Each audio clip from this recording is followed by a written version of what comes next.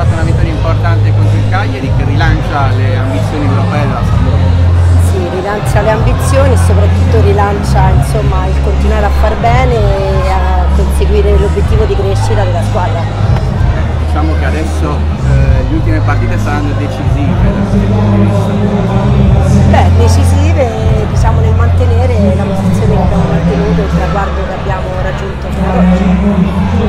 Qualche giorno fa si è chiuso un bilancio con un utile importante, quali saranno le prossime mosse e se alla luce di questo bilancio potrebbero essere trattenuti dei big.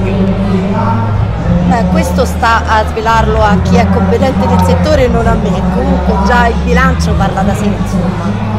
Quali saranno i prossimi obiettivi importanti di questa società che continua sempre ad investire? Beh, sicuramente continuare a far bene e poi perché no, noi in Europa ci vogliamo arrivare, quindi magari se non. Resta Giampaolo, può essere Giampaolo l'uomo su cui costruire il futuro. Giampaolo ci piace molto perché tra l'altro consegue un po' lo stesso nostro obiettivo che è quello di formare, costruire e far crescere i giovani.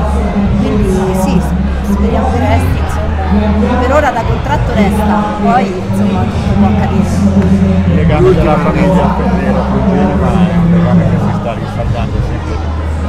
Grazie, sì, noi l'amiamo questa città e anche se abbiamo iniziato impatto purtroppo diciamo eh, dei migliori, però vedo che mano a mano sentiamo che ci appartiene, insomma, siamo divisi tra due città.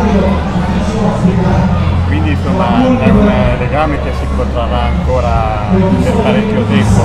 Beh, speriamo, sicuramente ancora nel futuro prossimo sì. Grazie ragazzi.